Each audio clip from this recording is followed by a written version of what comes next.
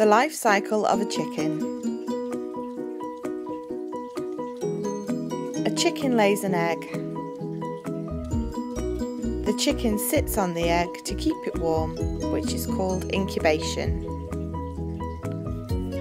After three weeks, the chick hatches out of the egg. The chick starts to grow.